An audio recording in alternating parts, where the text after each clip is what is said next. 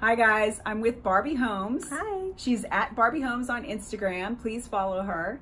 And I met Barbie and had the pleasure of doing her makeup at a women's empowerment conference here in LA called FierceCon. Yeah, Amazing. fabulous. Amazing. We hope to see you there next year. Um, but a lot of women asked for a tutorial, a makeup tutorial, give away my tips and tricks, the things that we did at FierceCon to do the makeup there. So that's what we're going to do. We're going to back up. Barbie just had her makeup done. I am so glam. We did maybe five or six steps to get her Mm-hmm. here. So I'm going to show you what we did. It's so fun. And it, it, there's so many neat little tricks that will make such a difference. And I learned so much. You're going to love it. Oh, awesome. Join us. This makeover is geared to make you look more awake. It's not really an anti-aging. You're not looking younger. You're looking your age. You're looking your best. And one of the things I look for in my makeup is I just want to look more awake. I want to look like I've already had my cup of coffee. So I want you to look more awake. I want you to be able to get out the door in 10 or 15 minutes. So it's quick. And I'm also featuring Clean Beauty. Los Angeles finest clean beauty brand La Belladonna, who sponsored and gave all these beautiful products for us to use. Okay, so here we go. Probably my biggest tip is the easiest one, eyelash curler. So we're going for a more awake look. You have to use your eyelash curler. Um, at FierceCon, I had some women in the chair that called this the device of torture. Uh, it makes such a huge difference. It's worth it, to use it. You know, I used to use it when I was young all the time, and I've gotten out of that habit. Mm-hmm. So it's time to revisit that. I thought, you know, it might be damaging to the eyelashes. No, just make sure, like you guys can see, this pad is new.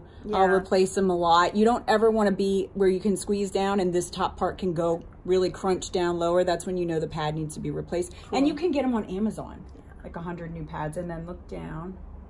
So as you guys see, I'm just kind of lifting up a little bit. I almost want to go in closer.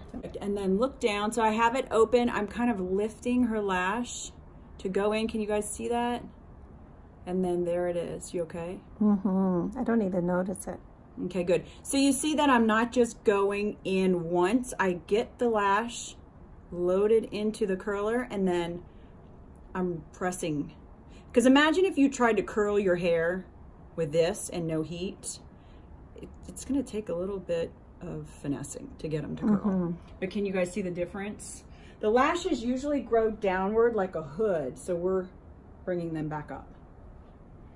That's the biggest one. I think that's the the thing that makes the most difference and then look down, which is why all the promise of the lash lift and lash extensions are so popular right now. You okay, Barbie? Mm-hmm.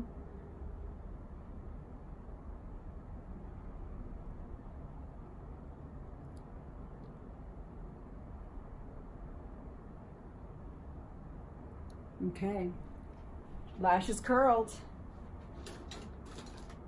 So out of habit, because my clients will sometimes ask me for um, a glitter green smoky eye, or they'll ask me for something really wild, I just out of habit do the eyes first. And I suggest you do the same. It gives Okay. you a lot more freedom as you work. So if That's anything moves, interesting because I always thought, oh, the foundation first, right? But oh, eyes first. Always eyes to know. first. Always eyes first.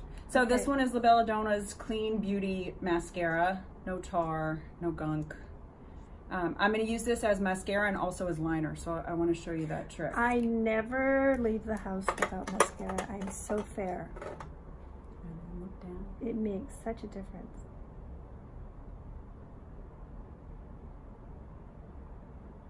So as you can see, I'm really wiggling. There's a little bit of product at the end. You guys see that? There's just a little bit extra. So I'm trying to work that towards the root of the lash, if that makes sense. And I'm wiggling and wiggling and getting in there.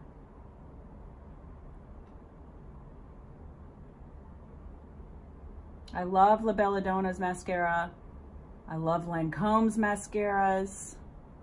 The It Cosmetics Superhero Mascara is great. I use Land, the Lancome, but I am really interested in this uh, brand that you brought today. The clean one. So now I'm switching to a small brush, just a, um, a soft brush, of course, because it's going to go close to her eye. And now I'm taking the mascara wand and I'm grabbing some of the eyeliner. I hope you guys can see that. Um, and I'm going to wiggle that and then look down in the roots of the lash. Here, I'm gonna have you guys closer Yeah, in. that's a game. Because this is, yeah, this is this a big one. This is a game changer. So if you guys can see on Barbie, that little bit of skin that's sort of under the lashes, um, it's the upper waterline is what we would call that. So I'm literally taking, it's a clean beauty, it's clean for the eyes, and I'm coloring it in. Can you guys see where I put it? So it's almost like an eyeliner, but it's underneath the lash line. And I find as I age that that watermark seems to get bigger. And um, if it's um, colored in, I guess is the term, it really makes a difference for the size of my eyes and that, that awake look that you're talking about. So pretty. And then look down into the side. So I'm just trying to go a little bit further in and coloring all that in. Let's see, Barbie. Oh, I love that. Right? So really get the mascara in there, in the roots of the lashes. That's my best advice. Okay, you guys see the difference between one eye and the other? Big difference. Right? And quick, I feel like this is a quick thing we could do before we zip out the door.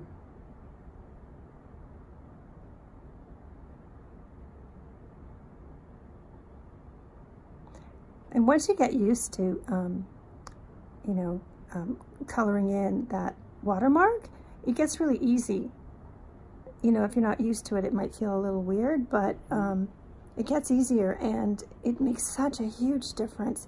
Like, look, you can see the watermark mark on this side, and this one is already marked in, and the eyes. The other, the uh, the first eye looks so much bigger. It's funny because a lot of women are afraid to put eyeliner or like that dark line for fear that it'll close the eye in. But isn't that funny? It actually does make it look bigger. And it definitely gives power to the lashes. It just makes them look so healthy and full. It's actually really pretty on you. Let me get a little bit more. Lovely. I can't even feel the product. Yay! Okay, good. It it it just feels like um, it's just part of of the eye. I don't feel like I'm wearing any anything there.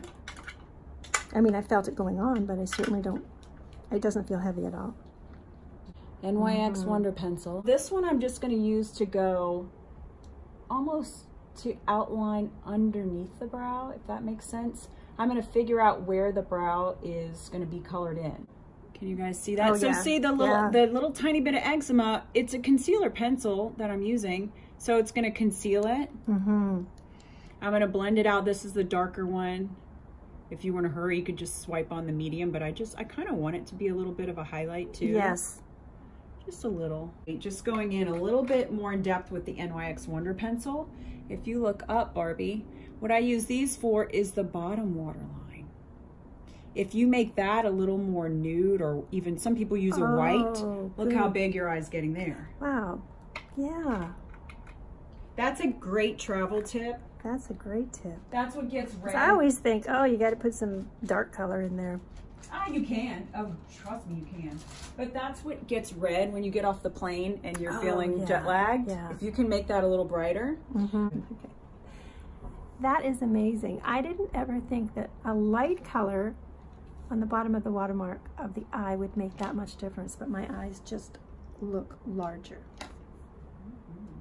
That's so cool. Um, now I'm going to go in. This is La Belladonna's brow kit. Can you guys see that one? So in this brow kit, there is, can you guys see that over there? There's a highlighter. There's um, a pomade to keep the brows in place. And then there's two brow colors. So two different shades. So the first thing I'm going to do, I think I'm going to go in with the lighter and just kind of tap in just a little bit where they're, the hairs are a little bit shy. I'm gonna fill in. And this light color, to me, it looks like enough, right? Oh, yeah. If mm-hmm. she's going to negotiate and buy something, I'd do a darker one.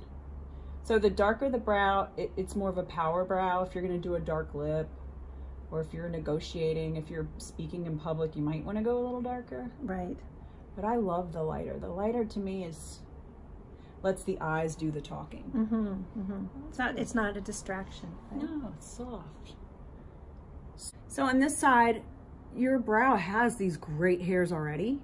So I'm gonna fill in maybe back here where it's a little bit more shy, the color gets a little lighter.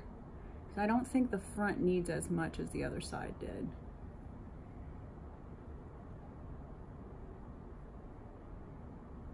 So I'm going in line naturally with where your hair is. I'm not creating this whole brow that doesn't exist. Something like that. Now this eye, I really want these hairs to stay in place because if they move,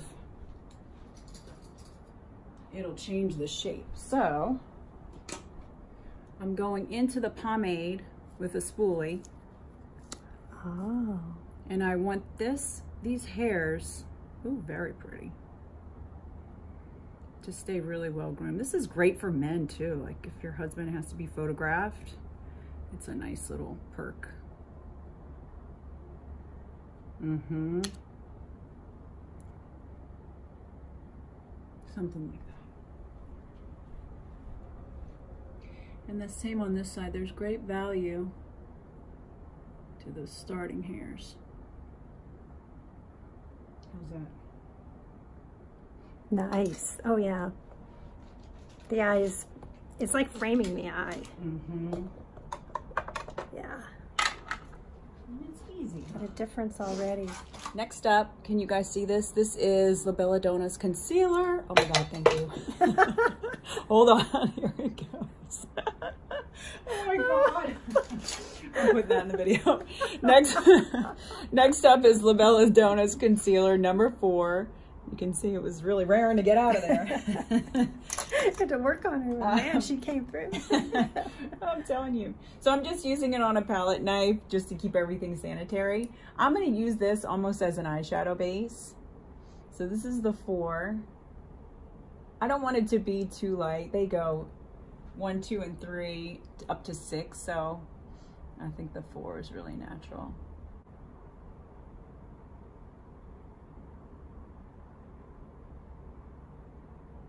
the main thing I would say is that make sure you get your concealer, you know, really load it up and make sure you get your concealer right in there. You guys mm. see where I put it?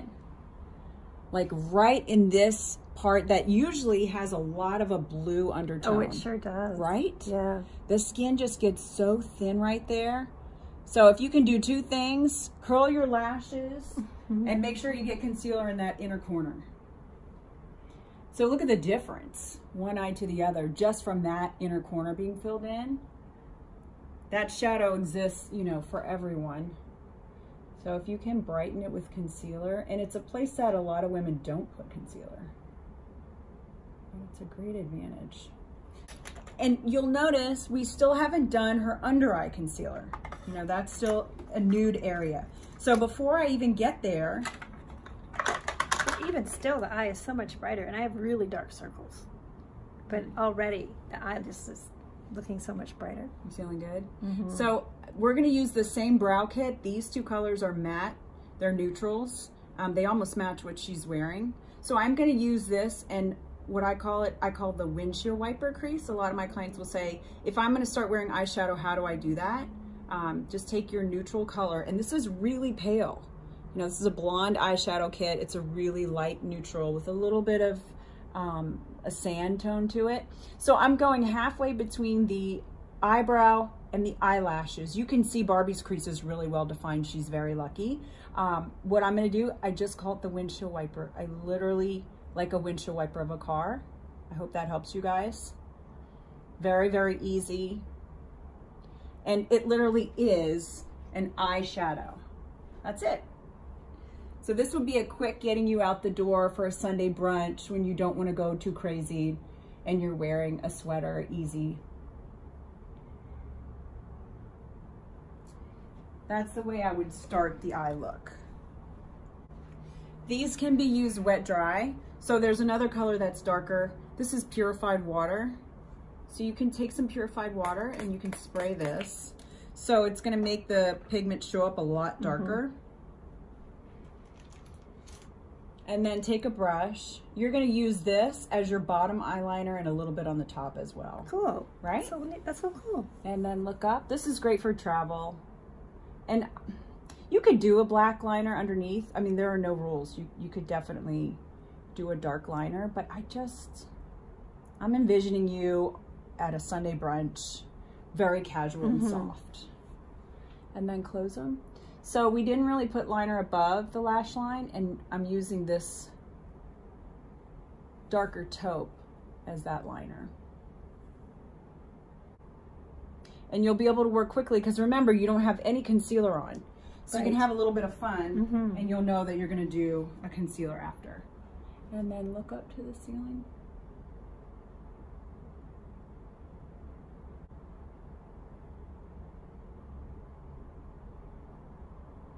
And then close them.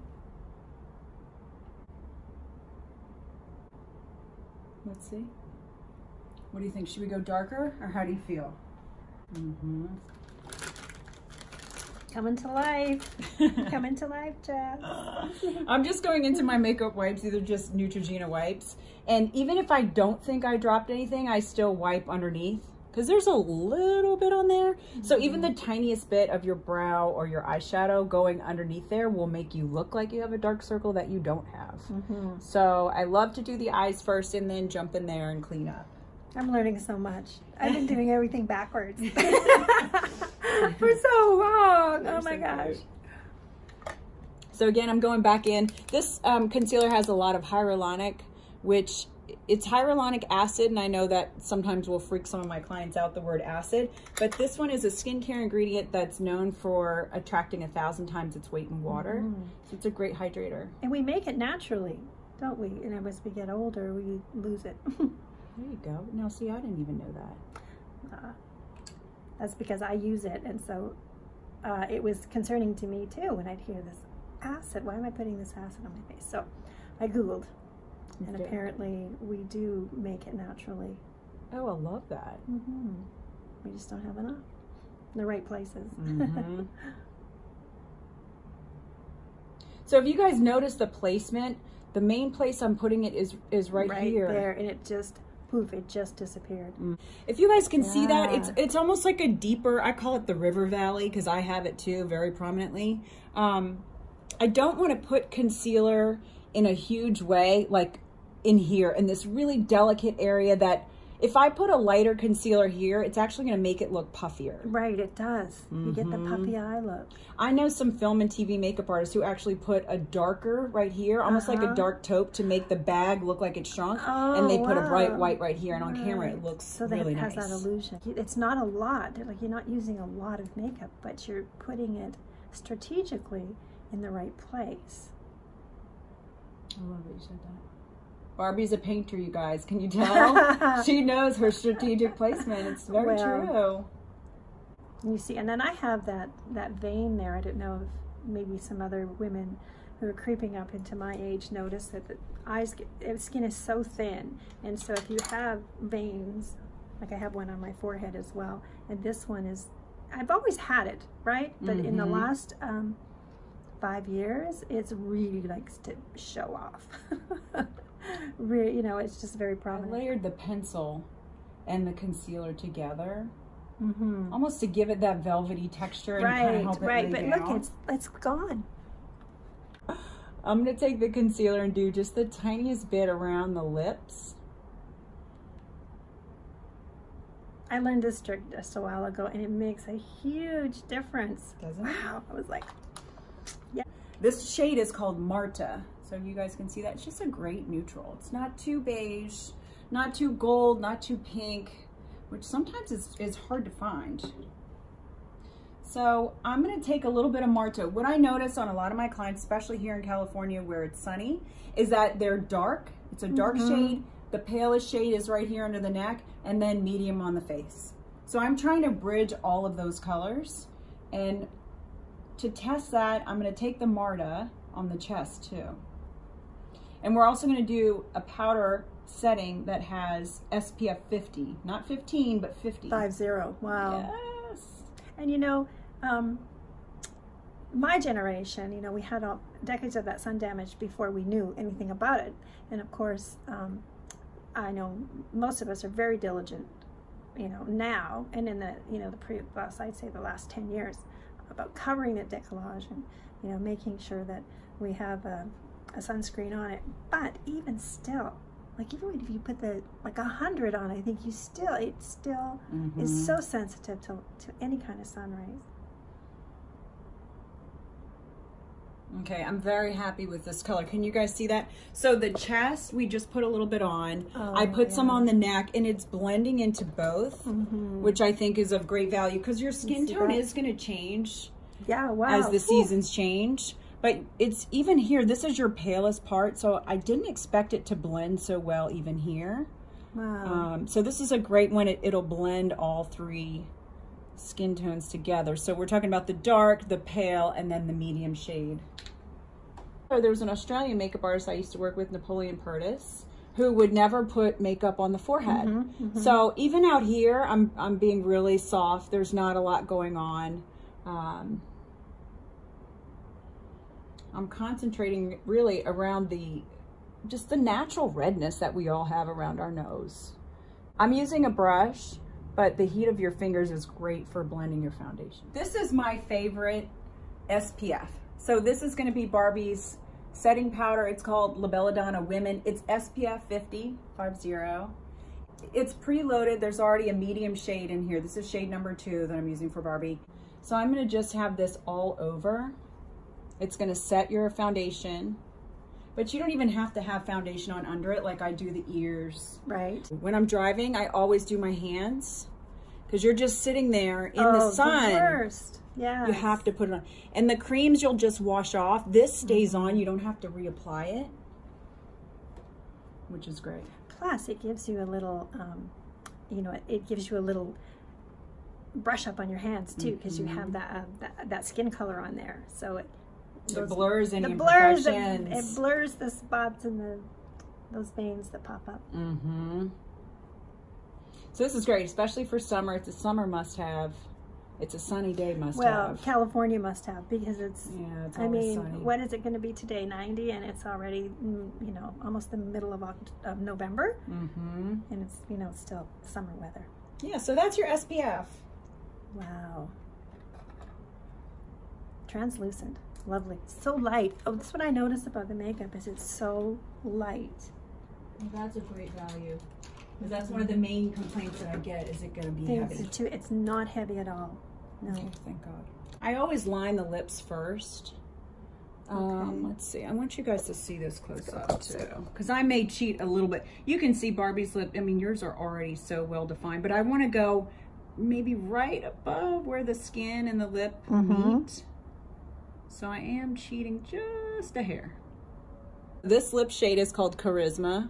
This is still La Ooh, Belladonna. That's so pretty. Okay, and smile just a little bit for me. So ladies, what I'm looking for is the color of Barbie's tongue and her gums. If I can get my lip color to be close to that, and she doesn't have as much blue as most people do, she actually has a little bit of warmth to those tones. So I'm trying to match that to the inside of her mouth. And if I can do that, it's gonna look natural, you'll see. I think Charisma is her color. Mm. And the gloss, this is called Isabella. Mm, Another beautiful name. Another beautiful name. is Ooh, that's pretty. Mm-hmm. Very pretty. Mhm. So feminine. So this is Isabella, the lip gloss. Okay, and then I'll have you smile. So I'm gonna use it as Barbie's blush. It's clean beauty. You can use it there. Um, it's single digit humidity here in California, so a little bit of moisture on the cheeks is welcome. I'm loving it. Oh yeah. Hello. Just pop those cheekbones too. Mhm. Oh my gosh.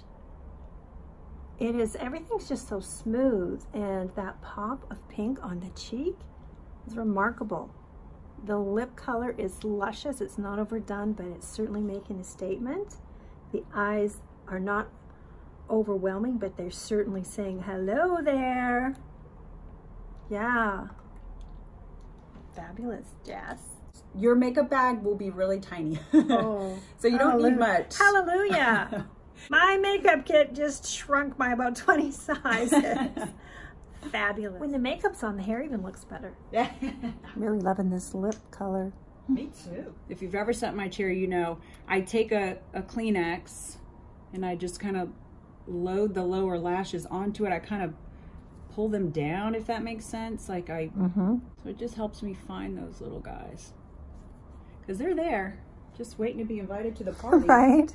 They get left out sometimes. we were just chatting off camera about how this is an intimidating thing, the false eyelash thing. But you don't need like a full set. You just need like a few, right? Just a few. So these are called Flare. These are the short black. They're really small, which I love. And then Duo, the, we sell it. All the drugstores have it. This is the dark tone, or you could get the clear. Either one is fine. And you just need a pair of tweezers. Um, I will say it's not the easiest to do yourself, but boy, if you can. Practice makes perfect. Mm-hmm. Okay. So I'm just putting a little bit of my glue here. And then I'm gonna dip the lash into it as I go. Just a little drop. I mean, I'm really not using much glue. Can you guys see that? Just the tiniest dot of glue. These are so lightweight and so easy to wear, whereas a strip lash, which I have on, is not easy to wear. So right now she has on how many? Five? Yeah, four or five. Can you guys see the difference?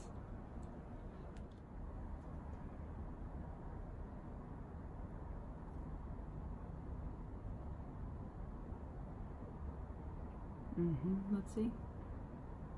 Oh, such a difference, huh?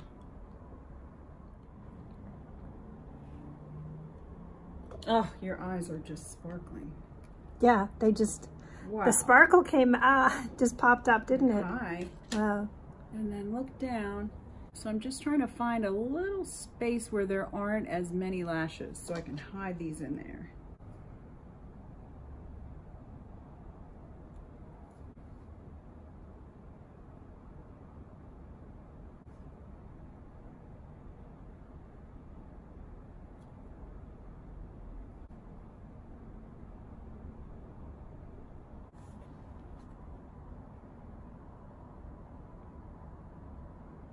Let's see. Wow, goddess. Wow is right, huh? What a difference. Oh, and so you can see the transition from like, you know, just day to night. But even this isn't, you know, you can still wear this during the day. I think so. Oh yeah, it's not too much. No, it's very polished. Very polished, that's the word, yes. Yeah, it's pretty. I hope you guys enjoyed this and all the links are below, everything that we use. Uh, thanks for, for tuning in and um, so many tricks of the trade that make such a difference. And it's not hard to do. It's fun. Thank you. Thank you.